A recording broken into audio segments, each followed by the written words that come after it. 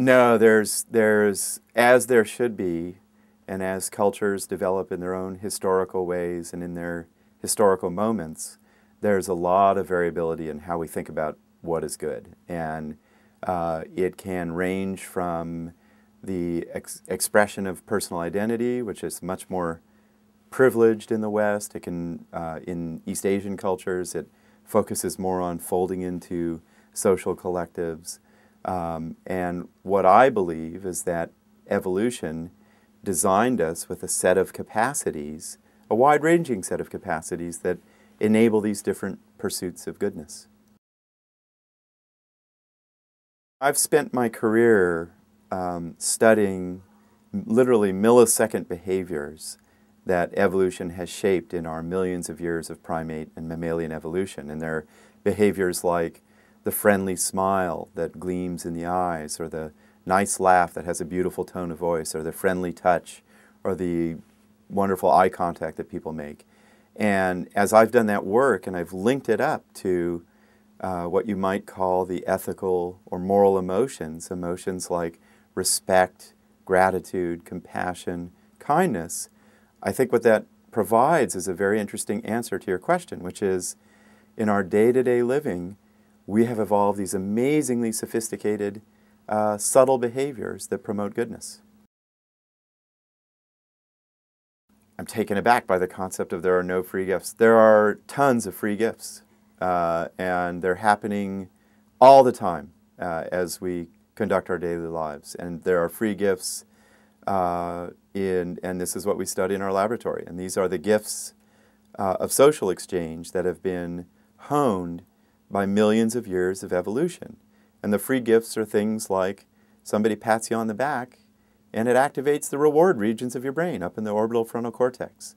Uh, somebody compliments you and your vagus nerve fires and creates a feeling of acceptance and connection uh, you make nice eye-to-eye contact and uh, or you smile at somebody, they don't even know that you smiled at them because they're moving through their day, and suddenly the cardiovascular stress response is calmed down.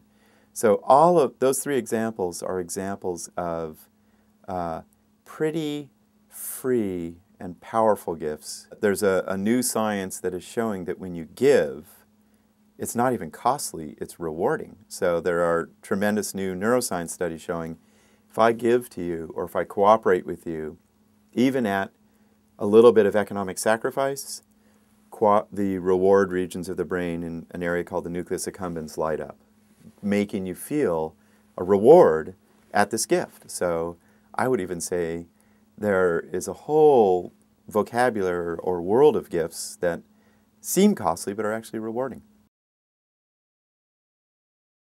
This is a very complicated question, and you know, it, I'll tell you a little funny anecdote uh, to illustrate sort of the broader theme here. You know, as a, an evolutionary scientist, uh, we are interested and we think about behaviors that help us survive and help us reproduce. And one of the truisms in the study of attraction and falling in love and finding a person you would eventually have offspring with is you have to be in their physical presence, and it promotes that.